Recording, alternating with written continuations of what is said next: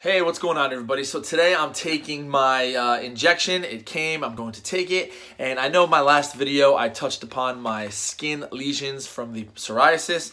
And I just wanted to let you know that I did notice a few weeks after taking the couple shots that the skin lesions are getting better. Let me flip the camera right here.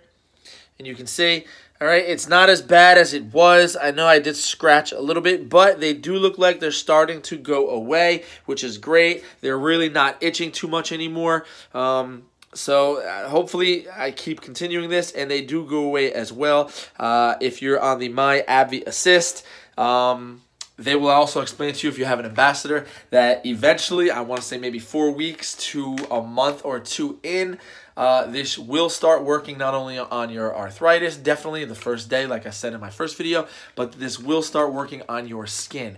Uh, the reason I'm saying this is because I did contact my doctor to see what I can do. Uh, they did tell me to use some lidocaine uh, rub um, for like sunburn, and that does work. I've used that even prior in the past.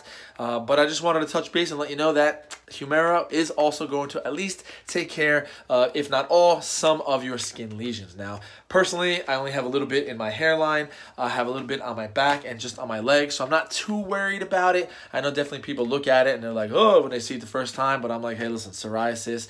But I'm already married with kids, so it doesn't really affect me. I don't care. When I go to the beach, fun in the sun, it does go away. But at least I know Humira is taking care of my pain. And if it does take care of my complete skin lesions, then I am super happy in using it. So I just wanted to touch base with everybody and let you know that it is working on your skin as well. As always, thanks for watching. Subscribe if you like. Check me out all the time. I'll make videos whenever I take a shot or whenever I have some information dealing with me taking the Humira injections. As always, thanks for watching.